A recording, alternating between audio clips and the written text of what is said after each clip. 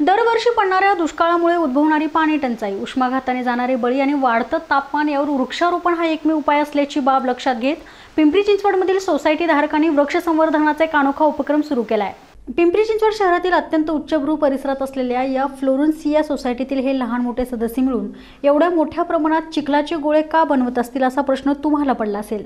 मात्र जरा थांबा. कारण या केवळ चिखलांच्या गोळ्या नाही आहेत तर हे आहेत सीड्स बॉल ज्यामध्ये झाडांच्या बिया टाकून त्यामार्फत लाखो वृक्षाचं रोपण केलं जाणार आहे. पण मुळात हे सीड्स बॉल कसे तयार केले जातात हे आपण जाणून घेऊयात.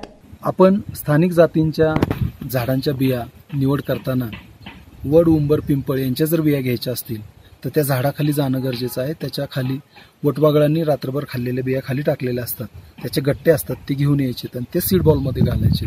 त्याच्यानंतर करंज कडुलिंब ह्या आपल्या घराशेजारी असतात. त्याच्याही बिया तशाच घेऊन व्यवस्थित त्या सीडबॉलमध्ये टाकायचे सीड करताना माती आणि शेण याचं मिश्रण करून त्याच्यामध्ये बरोबर मध्यभागी ती बी ठेवायची आहे. आणि दुसरं सगळ्यात महत्त्वाचं म्हणजे हे वाळून द्यायचं आहे किमान दोन ते तीन दिवस उन्हामध्ये सीडबॉल वाळवायचं आहे आणि नंतर पावसाच्या अगोदर ते सीडबॉल्स जिथं छोटंसं गवत असेल त्याच्यामध्ये टाकायचं आहे मी परत एकदा सांगेन वड उंबर पिंपळ चिंच कडुलिंब करंज अगदी हादगा पळस पांगारा काटेसावर ही आपली स्थानिक झाडं आहेत.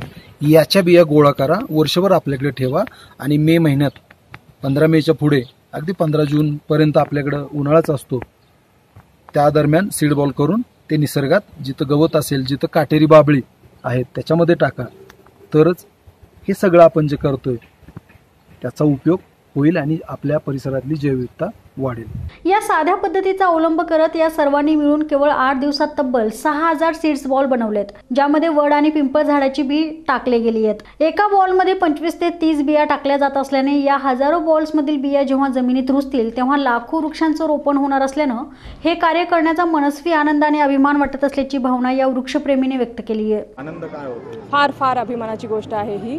कारण मी जसं म्हटलं हा आमचा खारीचा वाटा आहे त्यामध्ये की आपण काहीतरी करू शकलो आमची मुलं काहीतरी करू शकले. सोसायटीचे लोकांपर्यंत आणि बाहेरच्या लोकांपर्यंत हा मेसेज जावा की आपण जर ठरवलं तर आपण हे करू शकतो. आपण वृक्षारोपण ही फार मोठं म्हणजे अडचणीचं काम किंवा कष्टाचं काम असंच नाही आहे ह्या सीड बॉल्समुळे ती काम फार सोपं झालेलं आहे. तुम्हाला विशेष करून वेळ काढून घरी बसून खोदकाम करून करायची गरज नाही आहे हे सीट बॉल्स तयार झाले की तुम्ही हे फक्त घेऊन फिरायला कुठे गेलात गाडीमध्ये तुम्ही रस्त्यात हायवेच्या कडेला नुसते हे टाकून जरी दिले तरी निसर्ग त्याची क- काळजी घेतो.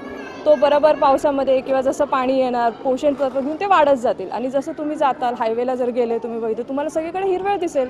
ह्याच्यामध्ये आपला भाग आहे. ज्यावेळेस ते वृक्ष वाढतील त्यावेळेस आपल्याला कळेल की अरे हा मी हे केलेलं आहे. ही अत्यंत अभिमानाची आणि आनंदाची गोष्ट आहे आमच्यासाठी. सिमेंटची जंगलं आणि बकाल नगरी म्हणवल्या जाणाऱ्या शहरी भागातील नागरिकांनाही यंदा दुष्काळाचे चटके सोसावे लागलेत. त्यामुळे जागे झालेल्या या शहरी नागरिकांनी लगेचच दुष्काळाशी दोन हात कळायचं ठरवलंय. आणि त्यातून वृक्ष संवर्धनाचा विडा उचलून सीड्स बॉल्सच्या निर्मितीचा राबवलेला हा अनोखा उपक्रम केवळ स्तुत्यच म्हणावा लागेल.